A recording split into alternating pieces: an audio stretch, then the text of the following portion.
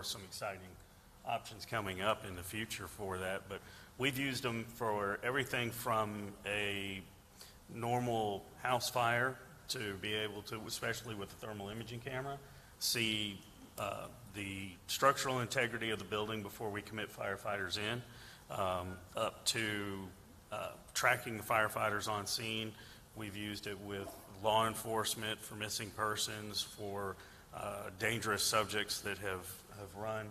Um, and we've done a lot of practice and training for, unfortunately, uh, active shooter events and being able to fly indoors to assist tactical teams indoors.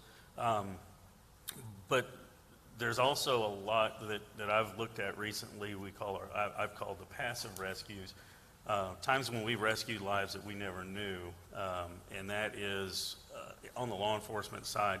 I've seen several scenarios where officers have been able to uh, detain a subject where they're at their most calm and comfortable, and the officers are as well, and no officer has had to draw a weapon um, and had, to engage a subject. And that's been that I think to me is one of those those those rescues that we're making that we don't even realize or know about is, is the great opportunity. And we can't quantify those because we don't really realize we just did that. Right, right. Thank you. And I, want to switch gears with you, Rob, because you have a background in using drones with agriculture, and I don't think a lot of people maybe rec- recognize how extensively drones are being used in agriculture as well as the opportunity. So why don't you just share with the audience how drones are being used in agriculture? Uh, sure. So the, uh, the way that drones are being used in agriculture is it, certainly in our use case, we're using drones for um, precision, you know, you know, uh, management of, of agriculture. Um, so in the case of being able to monitor uh, crops for, for stress um, uh, and uh, water content and being able to, to target the way that you apply your, your chemical treatments and, and, your watering to, to do that in a way that's a bit more efficient than, um, uh, than, than, could be done otherwise. Um, that said, you know, certainly there's a lot of farmers around the, uh, around the country and around the world that, that are, you know, use these techniques uh, in other ways you know, that are just not as um, efficient as, as what drones can bring to the table. So uh, the, the upshot of using a drone is that you can use, you can have this, this resource that is able to very quickly you know, gather data and, and collect it in a way and put it in, into a package that is, uh, can be consumed uh, a lot more easily than it would be than just going out and walking your fields. So.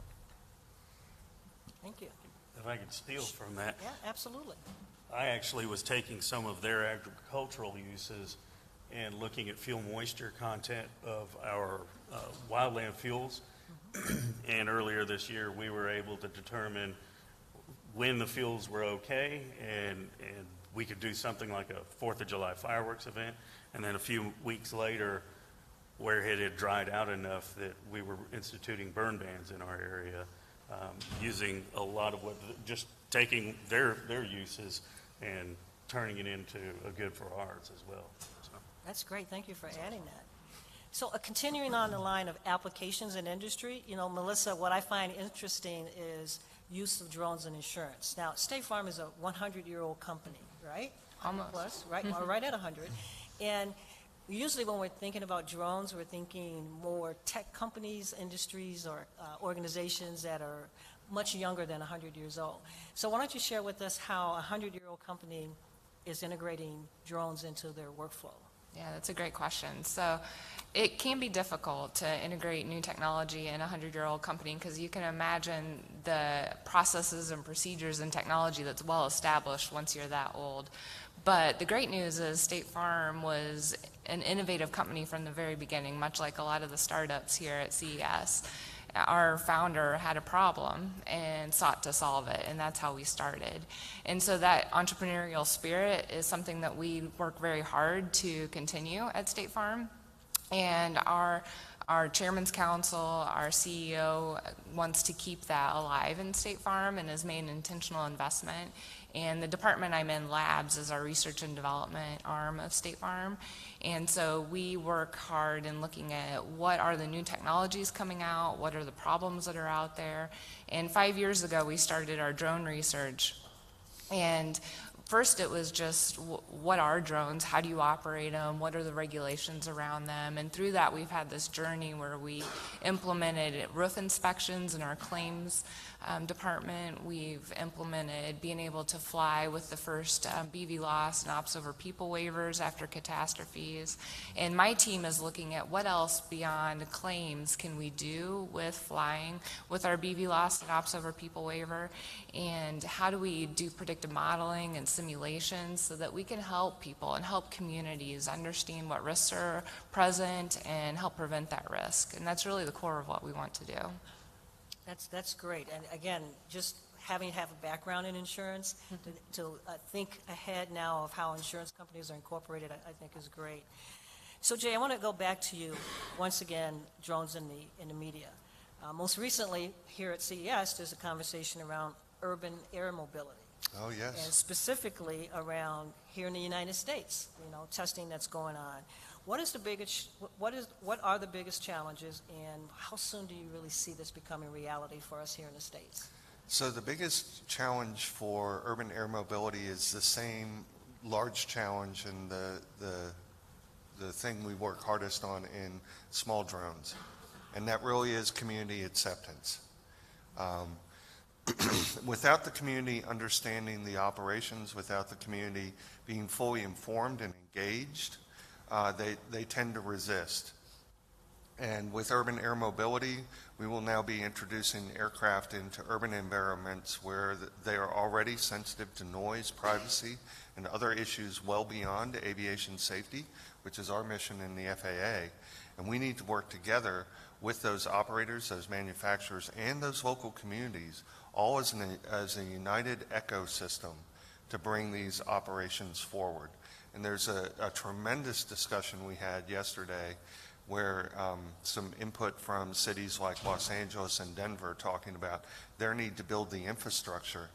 But it's, it's not just building the infrastructure, it's the community believing that that infrastructure and those operations are truly benefiting the whole community.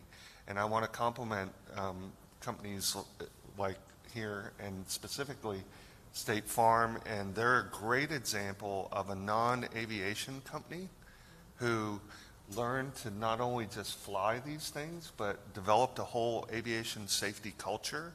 Um, they work great with their communities. I mean, I think it's sort of a core business of the insurance company to work with the community. But we've got others, our, our package delivery companies and others have been seeing how valuable it is to go out and talk to folks. Why are these drones over my house? What are they doing? Why am I, how are they benefiting me? And once the community gets involved and understands that, they accept it, they promote it, and they're, they're very willing to engage. And we see the same need with urban air mobility. Most likely, we will see um, cargo missions even before human transport. Um, obviously, cargo doesn't complain about the ride. Um, and so it's a little bit easier to work out business models and concepts with cargo. We currently have over six projects well into aircraft certification. And so we are about to see the airplanes that will be capable of these missions emerge. Um, according to these companies, they want to begin initial trial operations around 2024. And we've seen goals of routine operation around 2028 and we're ready to work with them. We're already working with them on uh, certification and operations. And the good news is, much like the drones, we also believe that our current regulatory uh, framework can be adapted to permit these operations and move them forward.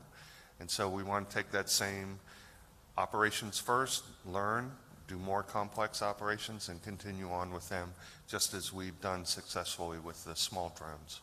So given that, being of age where I remember watching George Jetson, Oh, you have to put twenty dollars in my little jar. Anyone who says that, I make them put twenty dollars, and we're going to contribute it. it to a good cause. you got it. But given the George Jetson concept, and his dog Elroy and his wife Jane, you know. Daughter how s- Judy, and daughter- Jane- Very good, Jane's so you're in wife. that same group. How soon would you just speculate that we might see passenger drones uh, as a reality in one of our cities? So my corporate answer is as soon as it's safe. Um, And but based on what industry is working towards, certainly within this decade. Okay, Um, There's some different viewpoints as to whether it will be a premium service first, or how quickly will they be able to drive the cost down. And I think there's a lot to be worked out there um, with their business models and what works for them. Uh, But we've already got um, a well-known ride-sharing company that is practicing with a Part 135 and on-demand air carrier that's a current helicopter operator in New York, and they're just seeing, how does our business model work, and how does the whole flow work with our ride sharing? And uh, they're just waiting on an aircraft to be manufactured. I hear they announced something very exciting here at CES. yes, absolutely. So I want to build upon your comment, though, about public acceptance, and, and Melissa, maybe you can help us with public acceptance at the local level in terms of incorporating drones. You know, you're sending out claims adjusters to the community to inspect roofs and seek out damage. How- How, is State Farm going about engaging the public and educating them on the value of utilizing drones rather than sending an adjuster up on the roof, you know, because that's what people are accustomed to. So this is changing not only your business model, but it's also changing perceptions. Can you share with us uh, State Farm's approach to engaging the community? Yes, definitely. So first things first, our claims adjusters are still claims adjusters first. So the drone is another tool in their toolbox. So when they're working with customers, they're adjusting the claim, and that's their primary role. Um, the drone is just another tool, um, much like the, the newscasters had talked about in the last session about the drone gives them another tool to use to get the shot that they need. Um, so our claims adjusters operate similarly. From a customer or a consumer engagement, public engagement standpoint, we are part of the integrated pilot program. And so through that program, we're sharing feedback um, both to the FAA, through our partners at Virginia Tech, through the Mid-Atlantic Aviation Partnership, and then um, through our newsroom, through statefarm.com. Um, we also, you know, share press release as we have milestones that we can share. But really, one of our first points that, you know, you share is our drone pilots out in the field. And when, when my research team first deployed drone pilots, we, we were a little nervous. We weren't sure how the public was going to react. And it's actually been very positive, much more positive than we were, you know, we were initially worried about, just given the, the privacy laws and things like that that are being um, debated in, in um, the news and whatnot. So um, those drone pilots are the, the first point in contact to a lot of community members. They're reaching out to local authorities, letting them know what we're doing. Um, we also participate with programs like Women in Drones, um, with STEM programs, with local schools and uh, community groups. And we're really just interested in letting the public know that we're operating safely and that the benefits that the drones in, can provide to um, what we're doing and just really in general with lots of different use cases, not just State Farm's. Great, thank you. And Rob, as you think about the test site, you all are part of the uh, UAS test sites, maybe you can share how that research that you all are doing is helping overall the global marketplace for drones.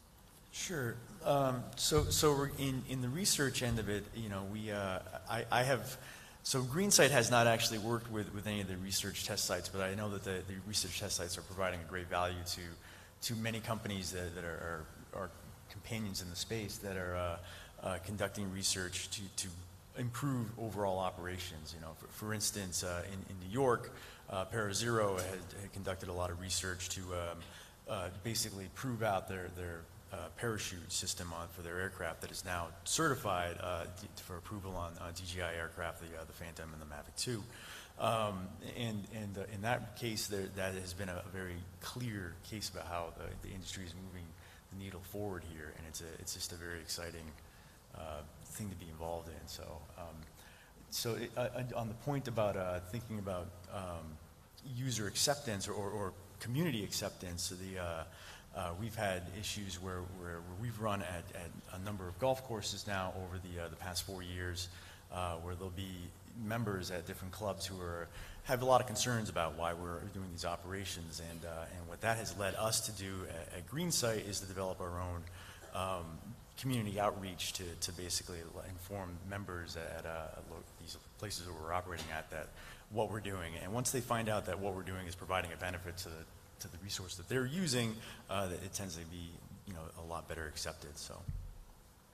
And, and Jay, if you could maybe expound upon uh, his response by sharing some insights in terms of the test sites, if you have any information on that with, with the audience?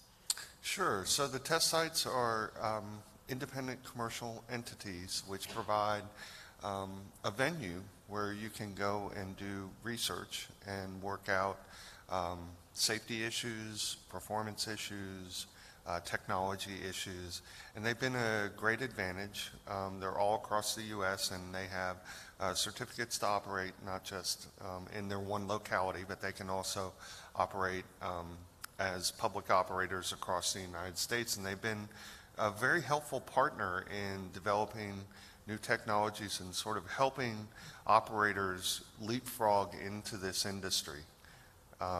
And they've been great partners in that respect. We also have work that is done in a more uh, university setting through the ASSURE Center of Excellence that does more of the science side of things, less of the applied operational, but more of the building the body of knowledge.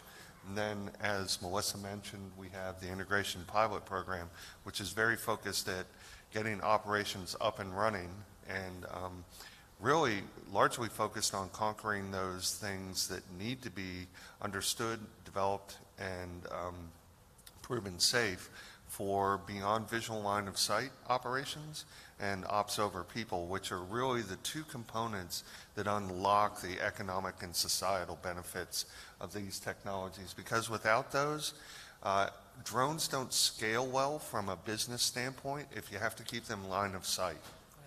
They really scale when you can go beyond visual line of sight. So all of these components are coming together, the test sites, the academic research, and the IPP, and our partnerships for safety, which is similar, and trying to advance these very specific goals. Thank you. And uh, Wayne, you know, when you think about the line of sight challenge as well as maybe the privacy challenges, what are some of the challenges that public safety are seeing with, with the utilization of drones as well as the data that's captured?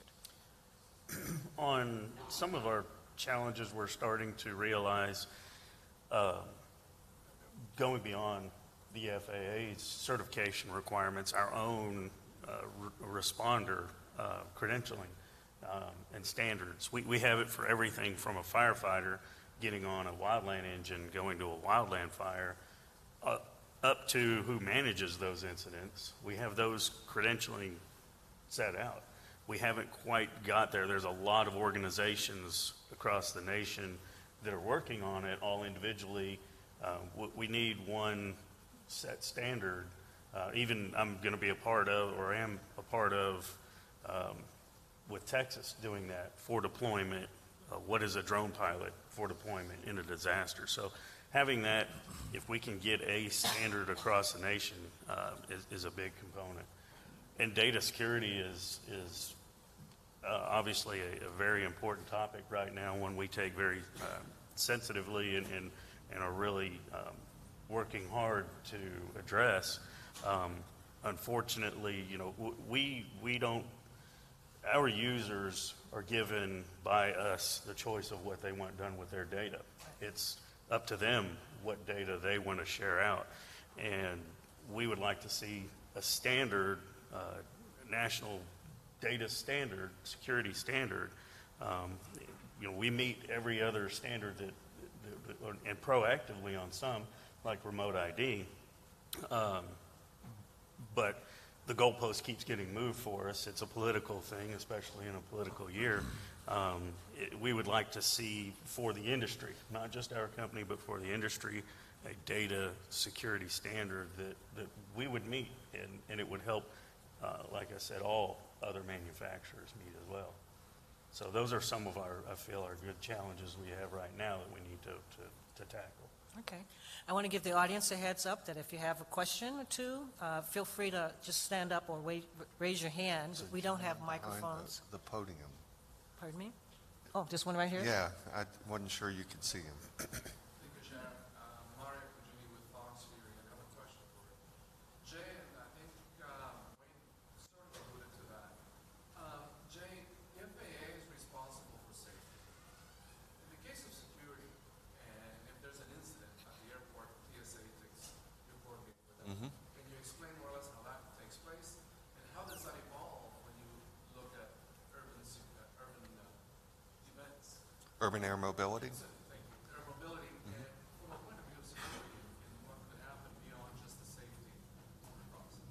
So currently, um, the FAA, in conjunction with other Homeland Defense, Department of Defense, uh, law enforcement, both local and national, are working on a national concept for responding to events, uh, persistent events at airports regarding drones.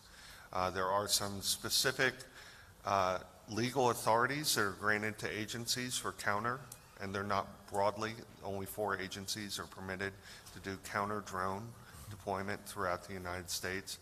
So the way, the, national concept is that uh, TSA will be the first line of defense at an airport, and that uh, TSA will be in charge of rallying all of us to respond to the event. Um, I think one of the most important things that that group has brought out is, is a measured response to any event is very important, because overreacting could actually cause more safety problems than um, a measured response. So because this is so new, I think everyone's continuing to work all of that out. And you bring up a good question, and we do know we need to engage our partners over at TSA and others on how will the human security side, in particular, work in the urban air mobility model. Um, One area that the FAA has responsibility and um, also in terms of uh, uh, other agencies also have responsibilities in the cyber. And Wayne alluded to it from the, the aspect of data security, which isn't all pure cyber. It's more, how do you use the data that um, we've all, we're all sharing? But it does touch cyber. But there's, um, there's a lot of work going on right now in the cyber associated with uh, what would be appropriate for certification, type certification of a drone design certification and manufacturing certification. And there's a growing conversation in the United States about uh, supply chains that are there to support an industry that allows uh, this type of cyber. And, and we also need to be sensitive, as, as Wayne's brought out, not all missions have the same level of sensitivity. And so, um, Obviously, if you're doing a DOD or another very sensitive mission, you may have one set of requirements versus public safety, who might have a slightly different set of requirements, and we need to keep all of that. So it's an evolving landscape, um, but we're very much tracking it with our um, other agency partners and our industry partners. Is there another question? Okay. Up in the Oh, back. there is. Yes, sir. Morning, my name is Dave. Uh, how is the FAA working towards assisting companies putting geofences up around sensitive manufacturing locations? Uh, So there is a legislative requirement for critical infrastructure, and the FAA is currently working with um, the other government agencies who also have a responsibility in defining critical infrastructure across the United States. It does require rulemaking, and um, we have been very focused uh, initially and, and right now on remote identification, but that critical infrastructure is in our rulemaking agenda, like it come out next year. So we will see that work um, in terms of rulemaking and meeting the legislative requirement really begin uh, in earnest next year. But there are many voluntary ways that you can meet that. We have the UAS Safety Team, which is an industry organization promoting UAS safety, which has come out with recommendations around geofencing and how uh, that can be done safely. And actually, DJI was a great help in that work for the UAST. And I would, I would greatly encourage people to look at those voluntary best practices and start using those as well. There, you don't need to wait for rulemaking for those things, but you could start working on those voluntary compliance as well. Thank you. Y- Yes, sir. Fred? This question's more domestically than for the global, but for companies like State Farm who put in for waivers to fly, is there a place online or a phone eight hundred number where a customer could call and say, there's a drone in this area, have they filed a flight waiver, flight plan, how long are they gonna be up? So first, if you have a concern about your privacy or Uh, Any other, usually local law, you, you should contact your local police department. That is our, that is your first line of defense against anything that you believe is a violation of a law apart from aviation safety.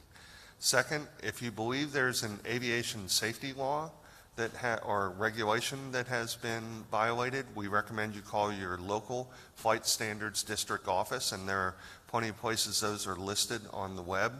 Um, and we can provide you with that, uh, some links later if you'd like to know that. But that also goes to the core of why remote ID is so important, because right now, we have no way other than randomly finding that one operator to be able to determine who was that operator, what were they doing, were they flying within compliance of, say, Part 107, or the rules associated with recreational use? Do they have the appropriate um, operational approvals for what they were doing? And so that, that's how remote ID will, will greatly help us, particularly on the enforcement side. Um, We've noticed there is a little bit of a misperception around our notice of proposed rulemaking. Some people think that there's going to be um, personally identifiable information available over remote ID, and that's not the case. If you look at the standard that ASTM has produced, which will likely be a means of compliance with the final rule when it comes out, uh, it will be basically the, the license tag, just like you have a license tag on your car, and the location of that license tag and the location of the control station. That's the main information that will be made available. And we think that'll be uh, a great enhancement, both for the general public and for law enforcement and for uh, aviation safety. Long answer. But thank you for allowing me to get remote ID in there. Well, let me do a follow-up on that. What's the timeline for remote ID? So, uh, the comment period, thank you.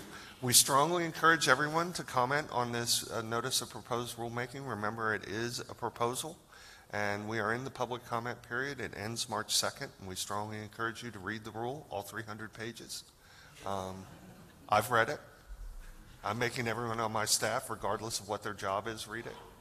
Uh, and then after that, that's the 60-day comment period, and depending on how many comments we get and the nature of those comments. It will take us time to adjudicate all of those, but we're highly motivated to get this rule out as soon as possible.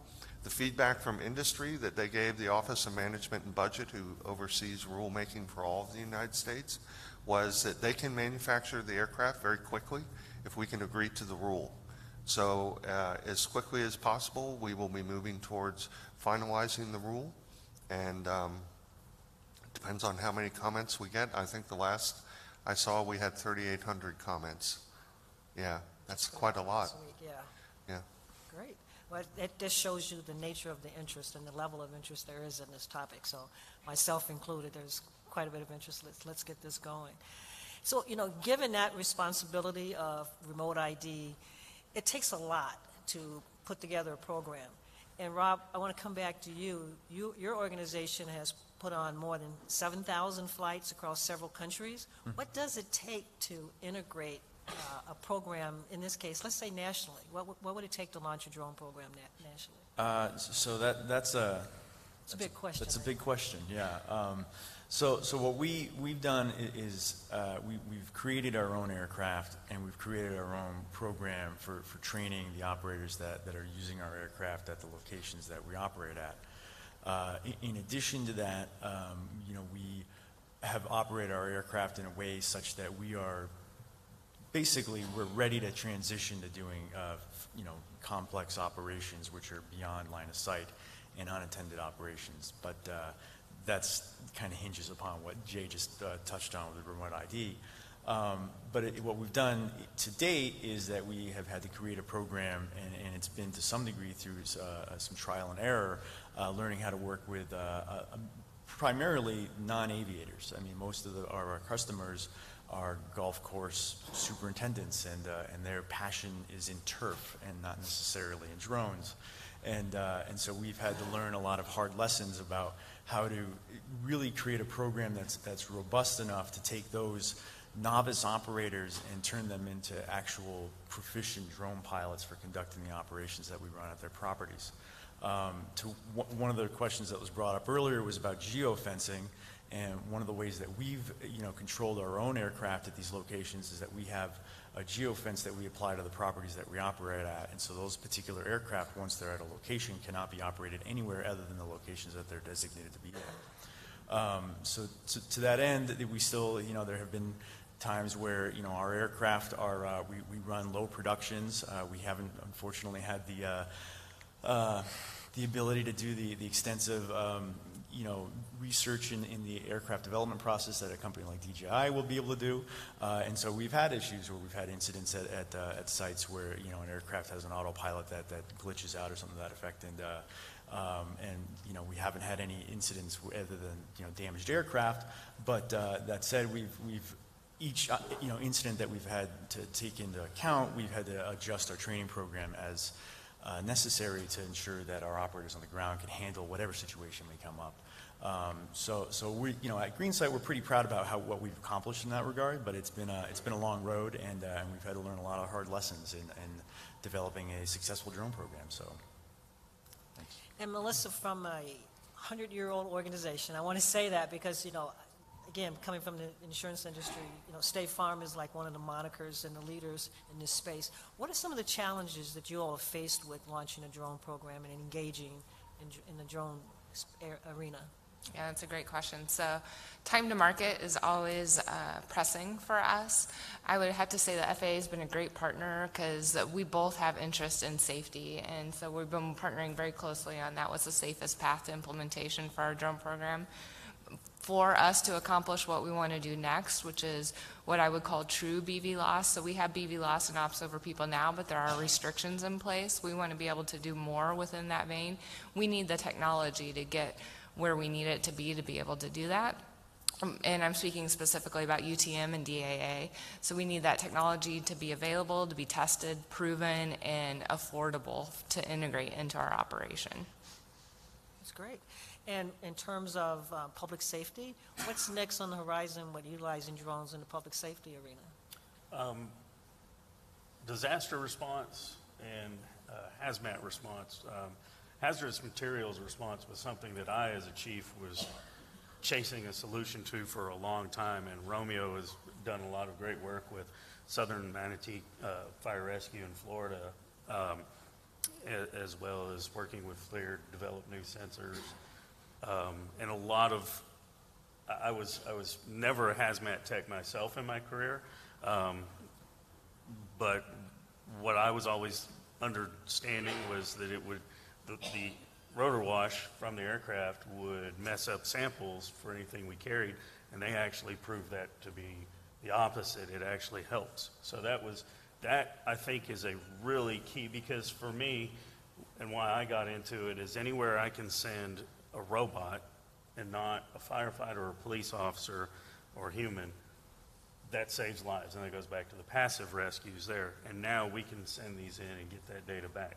And then the next is integrating into disaster response.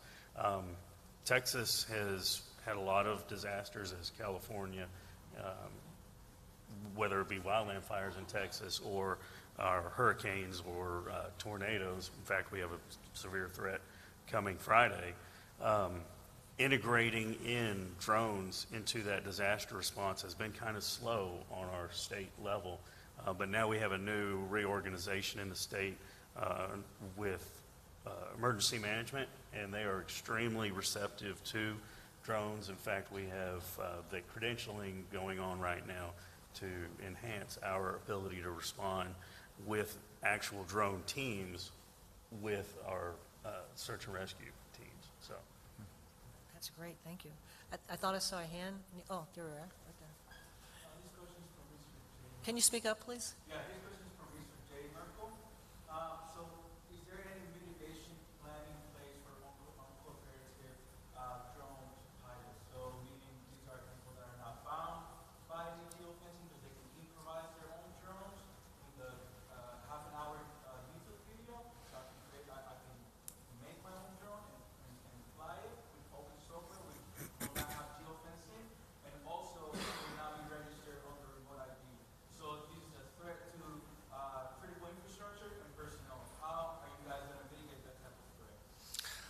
So again, back to remote identification, if you are not equipped with a remote identification, you would be limited to FAA-recognized identification zones. Um, And it then becomes a matter of threat discrimination. So once remote ID is um, not only effective, but we are up to the full compliance rate, if somebody's operating without remote ID around critical infrastructure or outside of a FAA-recognized identification area, whoever's looking at that drone knows they are either clueless, careless, or criminal. But they, they, today, we can't make that threat discrimination because just looking at the drone in the sky, we have no idea, is that person compliant, not compliant, you know, um, other than some obvious things if they're flying over people and shouldn't be. But um, that's where remote identification will come in, and that's where strong partnerships with public safety and others will become more and more important in terms of mitigating the risk associated with drones, and that's specifically why public safety is interested in knowing the location of the control station. Because they don't need, knowing where the drone is is good, but they need to get in contact with that operator. And so they'll be looking for that operational station. Um, if that is not available, it will now be clear to that local public safety official or a national public safety official or defense or homeland security that this is a drone being operated outside of compliance, and they will have a set of protocols to engage that drone.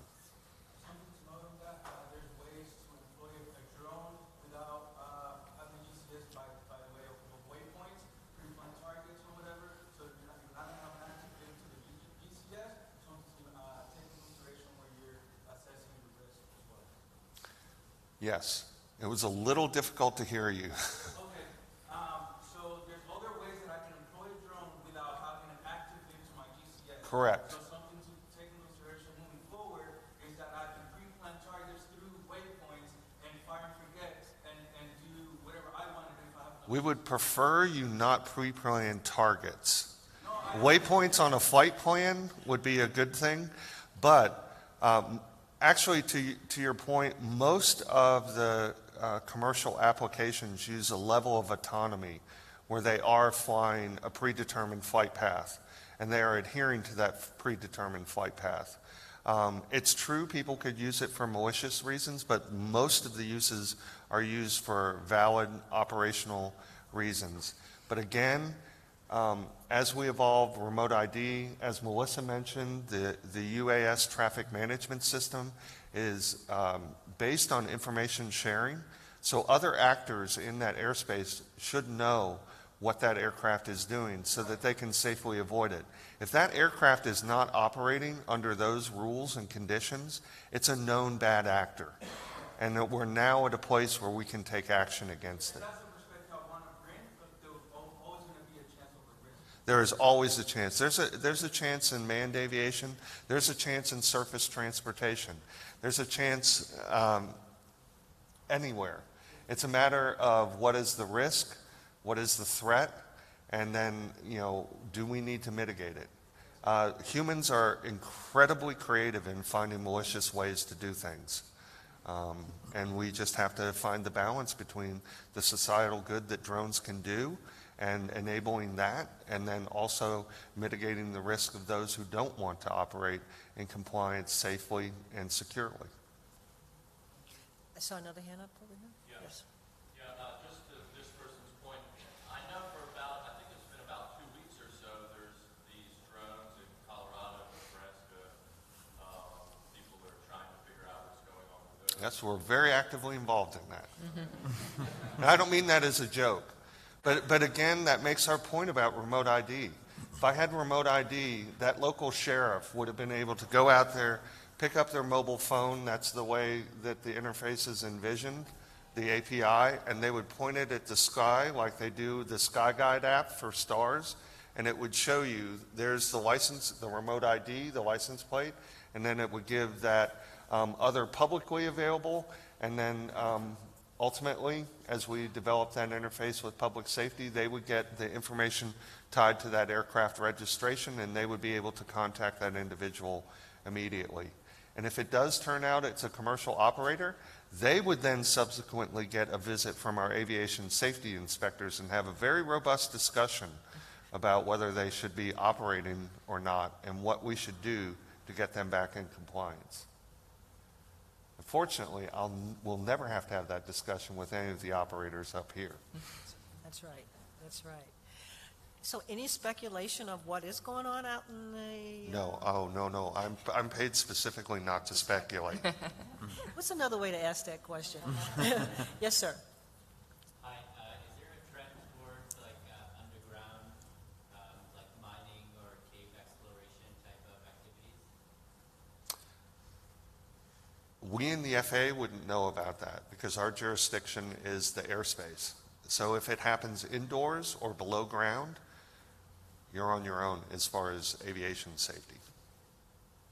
I, I have seen some uh, trade shows where people have drones doing that kind of work. Yeah, And- And drones are used extensively in mining.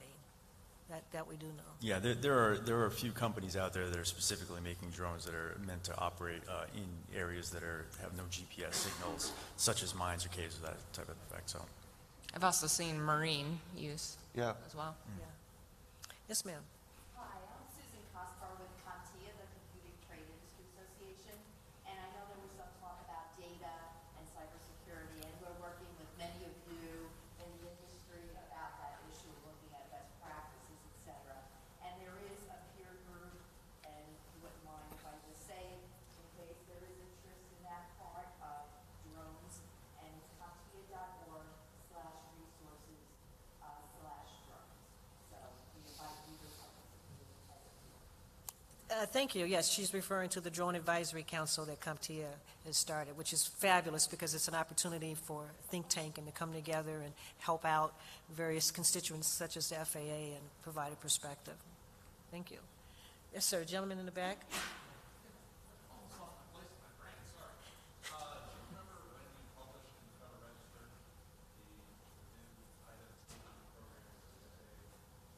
It was uh, December 23rd? Yeah, I believe, it was December 23rd.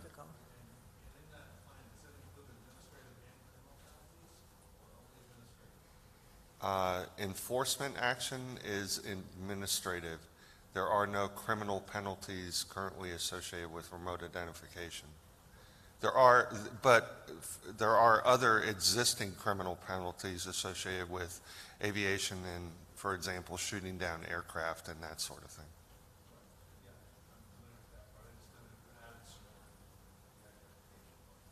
No. Do you have something special in mind, sir? Just kidding. Yes, ma'am. A little note, but um, I was curious about, you know, with Walgreens passing down the delivery app. Are there any initial learnings that you've gotten so far out of that, or anything you guys are going to take into consideration, kind of from a legislative standpoint, but also from a commercial standpoint? So I'm, I'm not the expert to, to answer the question about commercially, what they're understanding about their operation and their business models. Um, but we work constantly with those companies, and uh, our biggest joint learning goes back to that community engagement. I mean, when I talk with, for example, Wing, which is one of the 135 carriers operating in Christiansburg, Virginia currently and looking to expand their operation, it is core to their approach to engage that community.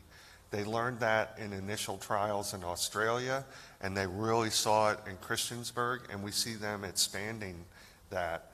And I think that's one of the biggest learnings. The other one goes back to what Melissa's touched on and what I've touched on is um, the real viability of this technology is unlocked by the scalability that comes with beyond visual line of sight. That's real, until they can get their operations true beyond visual line of sight, we do not unlock the economic viability. And that's the why we as a regulator and we working with industry are so focused on those, those objectives. I might add, I'm not in package delivery, but um, through the IPP program, the FAA talks a lot about the crawl, walk, run approach, and that's a big part of what we do in R&D too. We have to start, and starting by crawling, you know, scope and experiment small, start, learn, and iterate upon that, and that's been very successful for us. So I mentioned with our current waivers, there are restrictions in place, but by starting, we've been able to put in place processes and procedures with our flight ops, and we've learned so much in the past year with that. And we have been able to increase efficiencies even within the operation that we do have, while we're, while we work on those larger gains that we want to get to. And we, with partners like State Farm, are incredibly excited when we can safely remove some of those restrictions. When we've learned enough, and we, we call it the crawl, walk, run, we also call it the ops first. Start with a simple operation, learn from it, expand to a more complex operation. That model works so much better than a traditional bureaucratic, we'll, we'll figure out the rule, and then 10 years from now, we'll tell you what a good idea is. That does not work for this space. And we've had to grow as an agency tremendously to, to meet this challenge of the pace at which this industry evolves. Let's take, for example, the UPS medical package delivery uh, that became a Part 135 operator. This time last year, they were writing down that concept. They started operating around March. By September, we had figured out how to turn that, we, in conjunction, not the FAA, them mostly, but we have our role, had figured out how to turn that into a Part 135 operation. That is a pace that you do not see in aviation in any other part, right? And it's been a huge cultural change for all of us. Um, Yeah, in- in fact, I was You going to can say. tell I get excited about it. Yeah, that's to the point, my opening statement, that never in history have we seen such a rapid adoption of aviation as we are with the m- number of drones taken to the sky, as well as the vast uh, en- engagement of drones.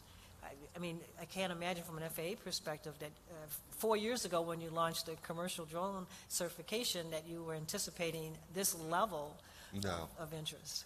No, and, and the integration pilot program has been such a help to adopting this approach that Melissa and I have talked about, this operations first, this crawl, rock, walk, run, and has uh, allowed us as a regulator to really come out and meet the operators where they needed us and start working with them to get this industry back on doing our part to stay pace with them. Um, I come from, up until very recently, I was on the air traffic system development side. I spent most of my career in the FAA doing that. And to say that you did something in 10 years was, wow, that's about standard. To do something in five years, wow, you really humped it. You got something out. I mean, I'm now working in, we're, we're, we're doing new innovations every three to four months. Um, and you get addicted to that level, that pace, and you become very frustrated with the bureaucracy that you've been a part of your whole career. And they start thinking you're a bit snobbish and things. Welcome to R&D. yeah, yeah, That's it's right. good. Did I, I see another hand? There we are. Um, yeah, so, uh, my question is on, uh, so, so drones already broadcast their, their location. So if, if local police officer wanted to see who's driving, who's flying a drone, they could, if I understand it correctly. So why does the FAA feel that they need to have drones have to actually hear them as well? Is that potentially That's a, that's a great question. So to my left is one of the largest manufacturers of drones uh, for recreational and public safety. And they have a standard by which they produce information on their link. But that is their standard. Um, one of the things Remote ID does is standardizes that across everyone. And the other thing, they do this voluntarily as a manufacturer. Remote ID makes the license plate concept standard for all operators. So we, we found it was not good enough to rely on just a manufacturer or a single manufacturer's standard. We needed that harmonization. And back to the, um, the title of this panel, we think that's important globally. as well. And in conversations with our other civil aviation authorities, they have the same view. Um, and we've all been working towards how do we standardize this so that we have common information. And going back to Melissa's comment on the UTM, one of the core principles of the UAS traffic management is that there's information sharing and everyone agrees what that information is and what those formats are. And so that's why we've taken this step of moving down standardizing it all. If we didn't have this level of standardization, we'd never be able to um, uh, identify uniformly across the United States all of the drones, and we would not be putting in place the foundational pieces for the traffic management system that will really allow this sector to grow. And, and keep them from having to do traditional air traffic management, which would be clearly overwhelmed by these aircraft. Understood. I guess my concern is, is a lot of the times we don't have internet connection where Ah, that's why we're seeking public comment, um, because in the, in the rule, a standard requires both the internet connection and the broadcast. If you read the rule, it says, if you're in a location where the internet is, internet is not available, you can begin an operation under broadcast. So that is in the rule. People have misinterpreted that. But we are seeking public comment because we know some people really love the internet and some people really love the broadcast. And we've certainly gotten feedback that people hate both of them together. Um, and so we're, we're working that out with everyone. So I just want to offer a counterpoint to that. So, uh, so while, while DJI has a, a, a lion's share of the, uh, the aircraft that are available out there, uh, we as a, as a private, you know, small uh, UAS manufacturer, uh, we do not broadcast our remote identification um, because there's, there isn't a standard in place. Uh, that said, you know, when there is a standard in place, we're excited to become a part of that, uh, and, and we- we're just looking for the, the, the formal guidance to actually make that happen. And I did not pay you for that, correct? You're welcome, Jack. Thank you. So as we start to wind down, I want to give the three of you a heads up. I'm going to ask you about what's needed in the next two to three years for your business to grow substantially with drones. But I'll start with, with, uh, with you, Jay, around addressing the issue around testing or sort, uh, uh, testing certification for recreational pilots. What's coming and what, how soon can we expect it? Ah, so um, to complete our work that was required under the FAA authorization for uh, recreational users, we have to, we have developed a, a knowledge test in conjunction with industry and input public comment on um, recreational users. We've announced that we have a cadre of test administrators, and we're currently working with those test administrator, that cadre, to um, figure out how to actually administer and set that, that out there. So very soon, you should see the um, cadre of test administrators beginning to offer that test. Okay, great. And so from a two to three-year perspective, uh, what would you say is, is needed from a public safety perspective to really leapfrog ahead?